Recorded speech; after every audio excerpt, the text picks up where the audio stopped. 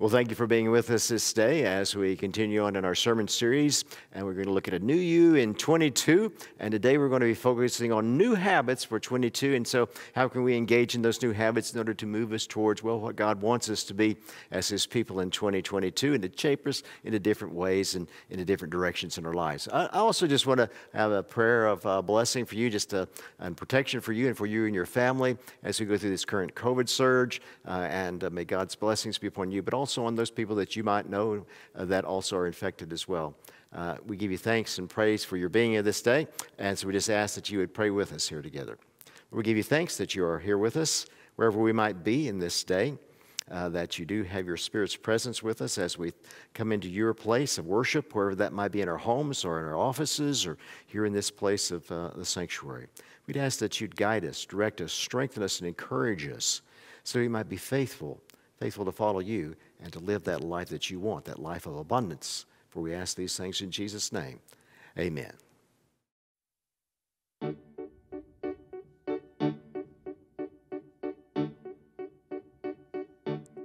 They say sometimes you win some, sometimes you lose some.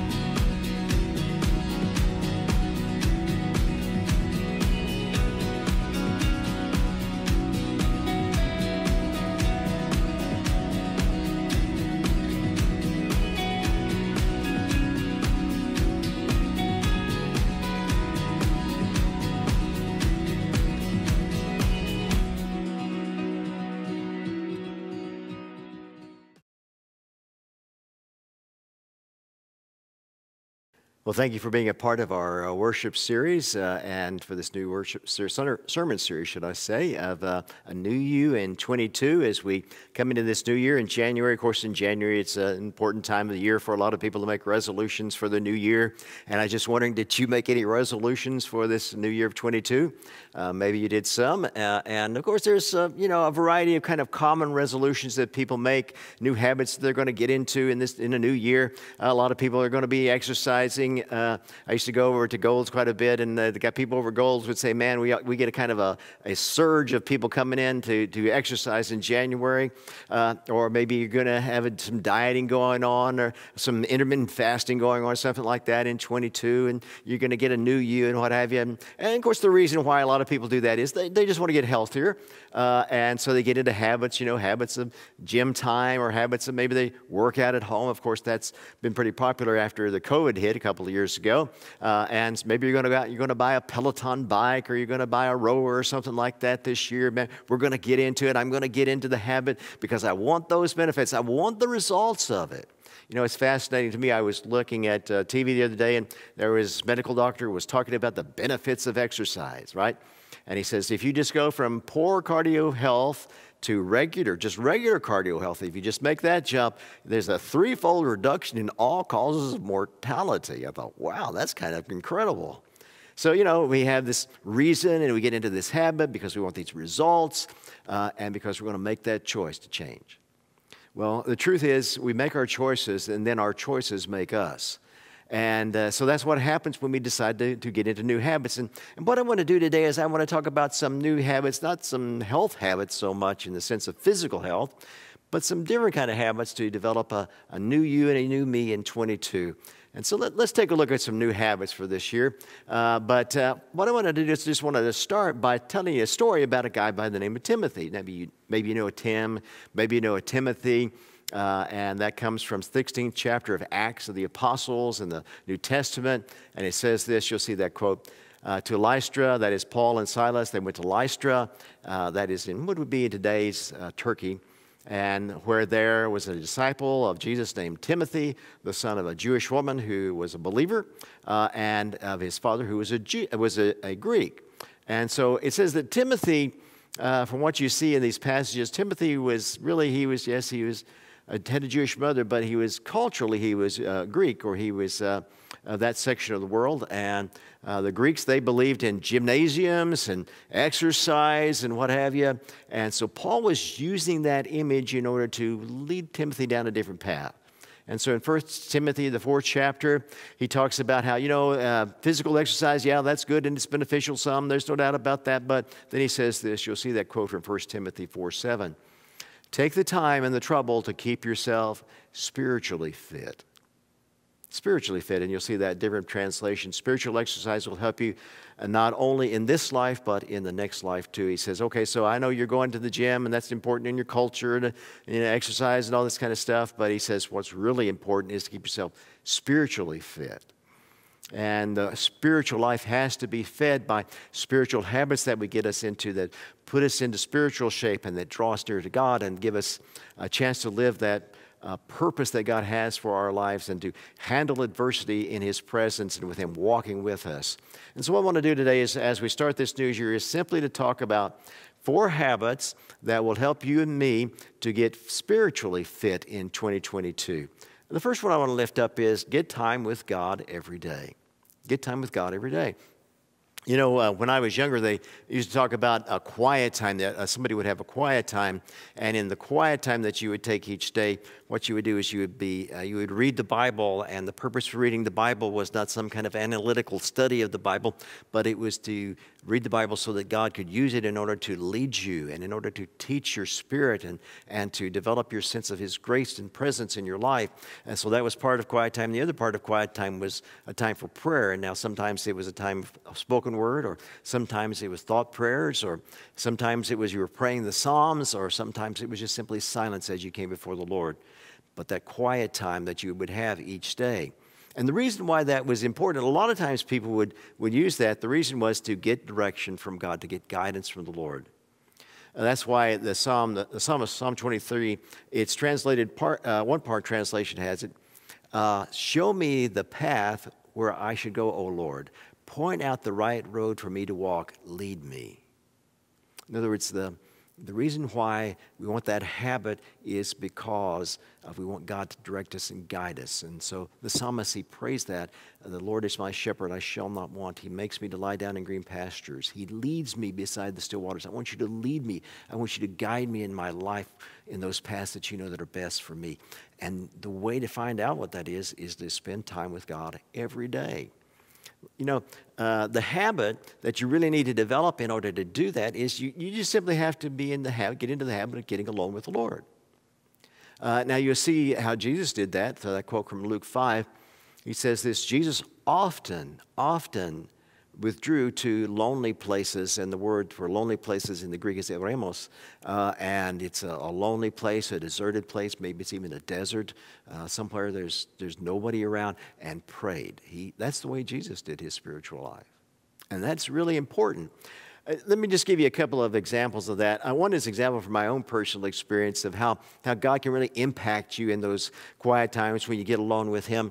Uh, I don't know, it's probably six years ago now uh, I was uh, in a place by myself, kind of out in, in, the middle of nowhere, and I was there, and I was, I was, you know, had, spent enough time away that I, my mind had kind of gotten settled down, and, and I was focused in, and I was present with the Lord there, and I prayed this in that silent space. I said to Him, Lord, lead me.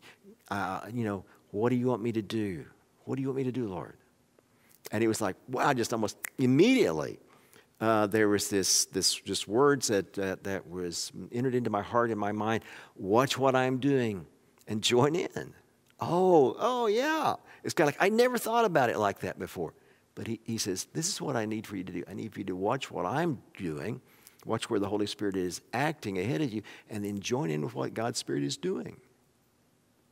Or uh, another guy uh, in the fourth century by the name of Arsenius, uh, who he was a, he was a very um, influential guy. He was the, he was the um, uh, tutor to the two sons of Emperor Honorius, uh, who was the emperor of the Western Roman Empire. Uh, and uh, so he was really privileged. He had uh, a lot of wealth and connections and what have you. And, and, you know, Arsenius prays to God and says this Lord, lead me in the way of salvation. Lead me in the way of salvation. And God replies to him, Flee. In other words, get by yourself, flee, be silent, pray.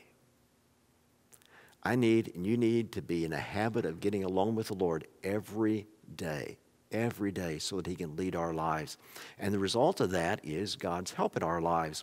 You see what uh, this quote from, uh, from John 15, what our Lord Jesus says if you remain in me and my words remain in you, then you may ask for anything you wish and you shall have it. And he says, he's trying to say to us, if you will get connected with me and if you will, if you will turn your life towards me, uh, that you will have a, a, power working in you and a guidance working in you that is greater than you ever had before, and I will help you. And so this the question is so when are you going to get that time alone each day? Where are you going to get that time alone? Where are you going to build that habit in 22? Now, the next habit I want to lift up is give a tithe to God every week. Give a tithe to God every week. Now, I'm sure somebody said, uh oh, Pastor, you've gone to meddling now. Uh, but okay, you think this is meddling? Wait until a little later in this sermon. Uh, give a tithe to God every week. And a tithe is I'm giving the first 10% of my income back to the Lord as an offering. And the reason why it's important to do that is that it draws me closer to God it draws me closer to God. Now, Jesus laid this out perfectly when he says in Matthew 6, Where your treasure is, there your heart is also. Isn't that true? Where your treasure is, there your heart is also. I mean, if you want the easiest way to find out about where your heart is, check your checkbook.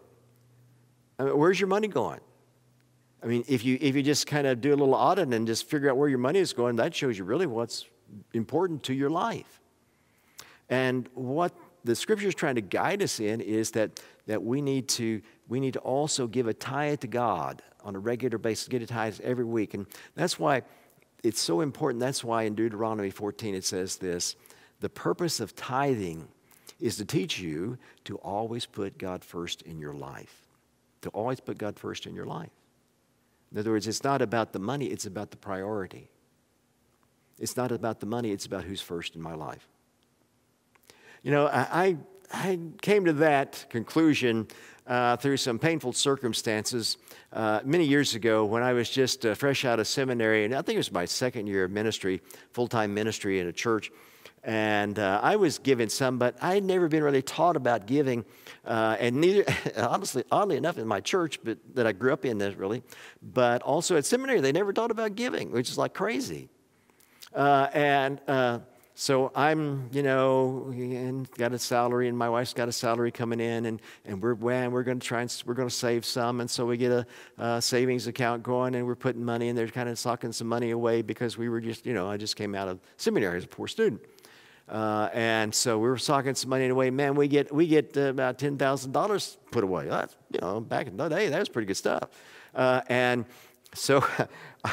I I turned, I found this tax accountant that does taxes for clergy, and uh, I put in all the information and stuff like that, and I call him up, and, and I can remember that call quite well, because I call him up and I ask him, how much do I owe in taxes? And he says, well, now this is like April the 7th or something like that. He says, well, you owe $10,000 in taxes now. Oh no! boom, like that. All of my savings were gone. And I thought, well, I'm, I am, okay, okay, we'll, we'll get that done. Uh, after that phone conversation, I got off and I said, and I thought, man, I did something wrong with my, ta- with my money. And I thought, okay, so I got to, I got to kind of write down how I'm going to start spending my money. What am I going to start allotting that to? And, the, and I got a piece of paper and a pencil and I wrote out this. This is the first thing I wrote. And this sounds crazy, I know. Give more to the Lord. That was number one, the first thing. How do I get my finances right? Give more to the Lord. And what my wife and I did was over a period of time, now we didn't just jump in, boom, all of a sudden we're not giving much to give 10%, but over, well, you know, over a period of time, we slowly, each year, increased, increased, increased, giving it, get it up to the tithe. And that was so important. That was so important because it Here's what it did it changed the way I looked at money, it changed the priority that money had in my life. And money started to be well, first of all, it's about worshiping God. That's the first thing.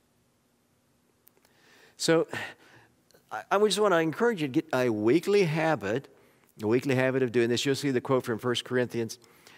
On the first day of every week, set aside some of what you have earned and give it as an offering. The amount depends on how much the Lord has helped you earn. Now, why is that important? Because a regularly scheduled worship offering. Every week I'm going to do it. Because, why? Because I, I know that I need to, to express to God how much He means to me. Now, I understand that there's some of you may think, well, wait a second, I got to check the first of the month I get so I can do it then. Uh, okay, I got you. But it's important we don't forget. We don't forget to put Him first. And what are the results of that? Well, the results are blessings. Uh, and you'll see there, uh, bring uh, your whole tithe into my storehouse, says the Lord. Uh, test me in this, and see, says the Lord, and see if I won't throw open the floodgates of heaven and pour out as much blessings, so much blessings that you won't have enough room for it. You know, what I found out about it was that when I did this on a regular basis, is that, you know, I, uh, I found out that it shifted the way that I handled money and it shifted the way that I saw money. And the end of it was I really, I really don't have any financial worries. Now, you know, sometimes that means you live a little frugally, but I really don't have any financial worries.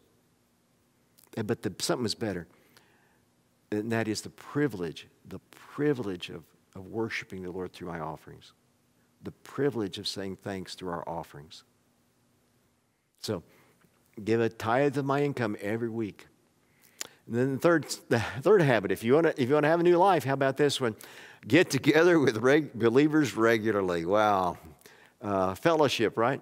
Uh, with others in small groups, fellowship with others in corporate worship as we worship together as the body of Christ, uh, you know, in person. You know, the reason why is it's to get encouraged get encouraged. Look at what uh, Hebrews 10 says there.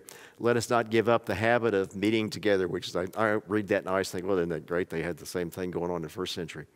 Uh, let us not give up the habit of meeting together. Instead, let us encourage each other. He says there is an encouragement in meeting together. Now, I understand we've got COVID and, and we've got another COVID surge and all that kind of stuff. And I, I, you know as well as I do that COVID has led to isolation. And, and sometimes it's necessary.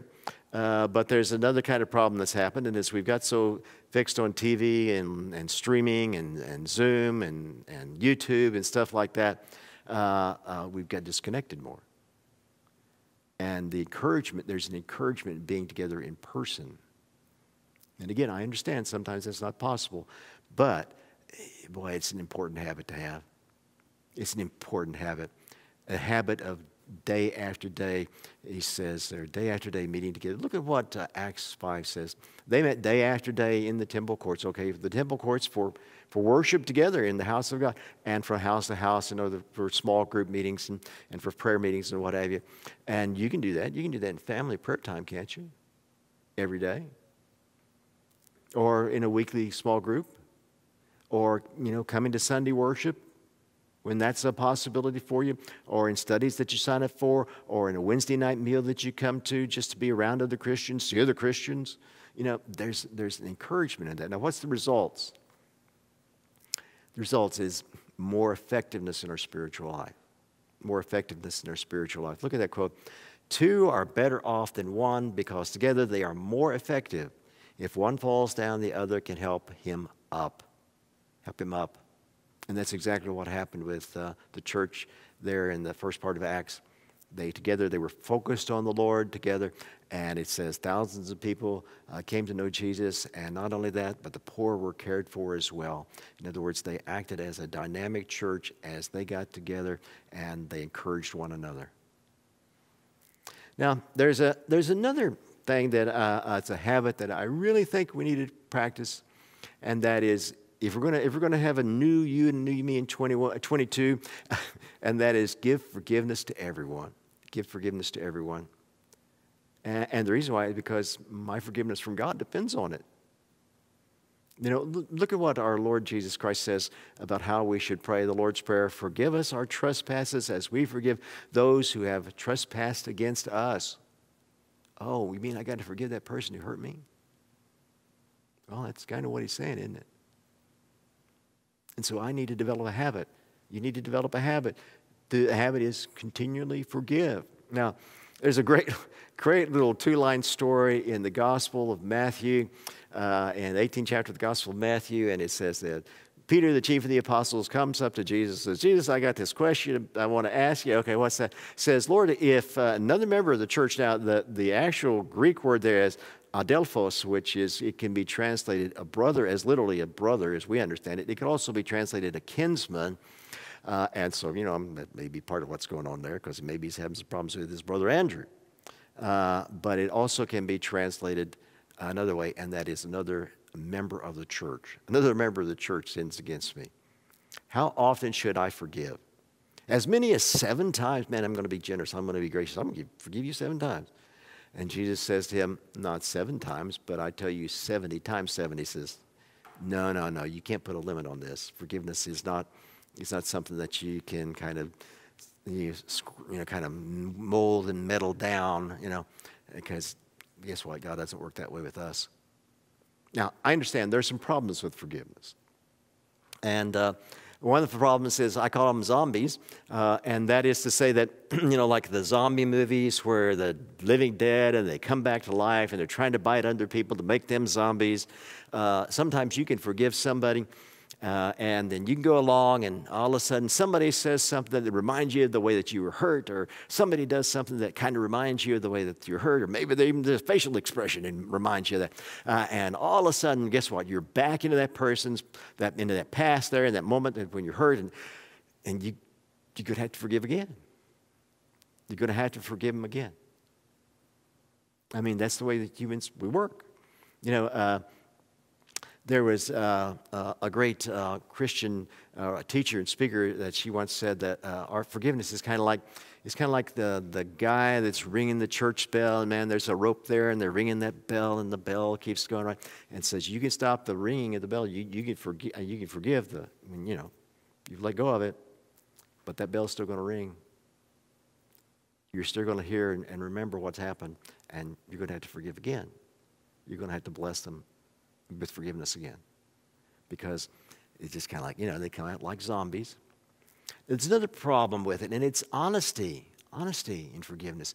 Because uh, forgiveness is not, well, being nice and I'm not going to say anything, you know, about it. And it's also not, I'm going to be an emotional terrorist and kind of keep pounding you about it or something like that.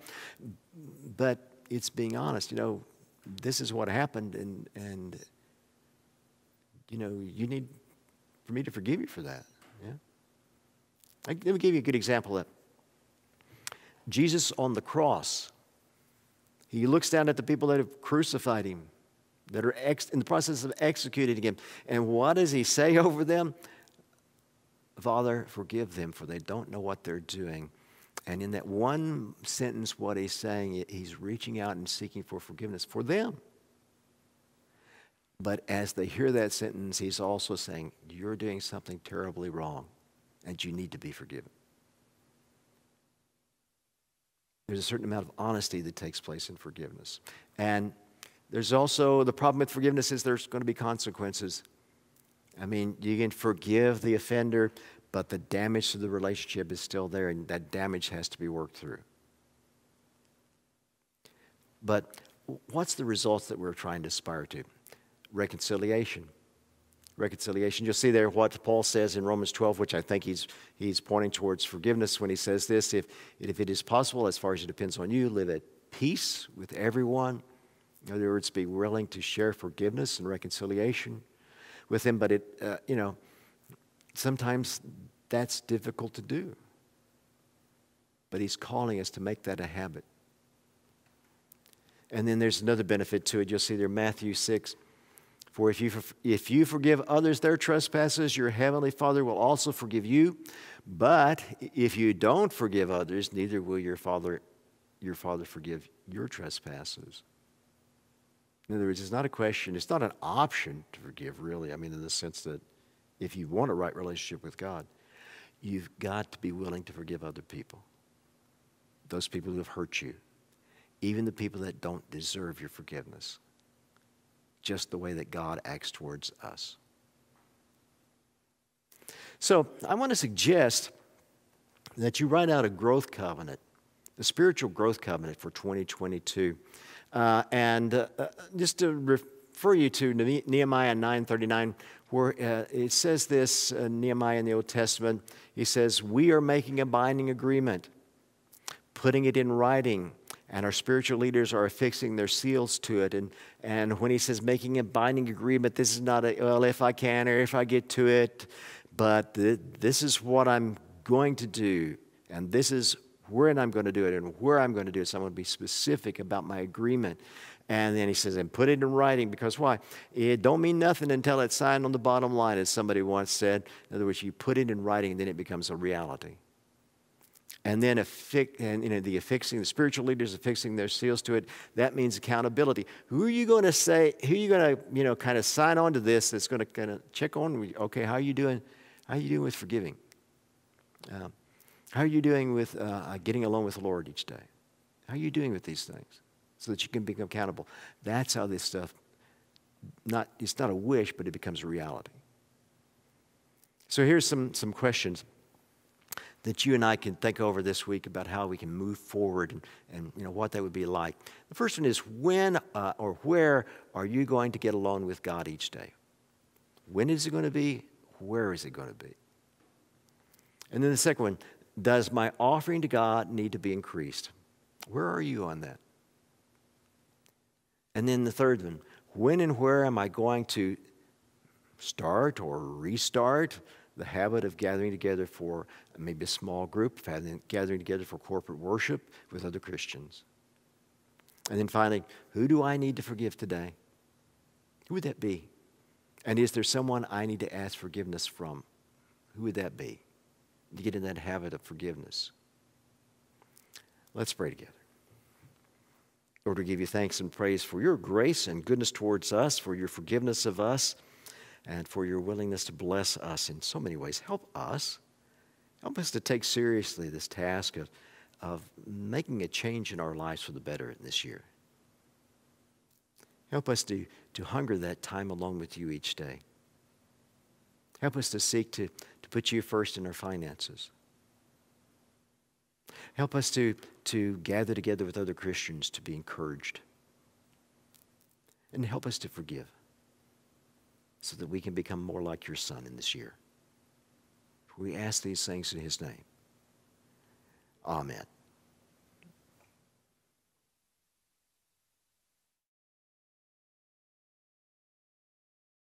Well, thank you for being with us in worship this day. Uh, and as we conclude, just want to lift up a few things. First of all, is uh, your worship offerings. You can do those uh, to the church here. Uh, uh, your offerings to the Lord. Uh, do that online at umcgs.org. You go there and click the give button, and it'll send you to the Shelby Next Giving portal, which I, I, like to use that. and it's a quick and convenient way to give my offering. Uh, and then also you can do by mail if you'd like, uh, mailing in the check to 10928 Southwest 15th here in Yukon at 73099. Uh, and so those are ways that you can give. And you can, of course, if you come to worship in person, uh, you can give uh, through the offering boxes that we have here as well. Uh, just some uh, fellowship opportunity here for you uh, is Wednesday night meals. Uh, they are back and they go from 5:30 to 6:30 on Wednesday evening. The cost of the meal is seven dollars per person or twenty dollars for a family. Uh, and this past week we had uh, we had Cane's chicken, and you know I like Cane's chicken. I'm, I'm, sure about every kid in the universe likes Cane's chicken. and so we're just having some good stuff each week, and some time for you to be with and see other Christians there, and a time to be encouraged. Uh, also, I just wanted to lift up that we are going to be doing a new Sunday school program for kids that's going to be starting in February. Uh, and uh, Simply Loved is the name of it. And it's going to be Sunday mornings at 1030. And so something special and something new for the kids. Just want to make sure that you, you bring them for that time of encouragement as well and that time of teaching and being discipled, which is so important. With that, I want to just ask you to receive this benediction. May God bless you, encourage you, and strengthen you in your week. For we ask these things in Jesus' name. Amen.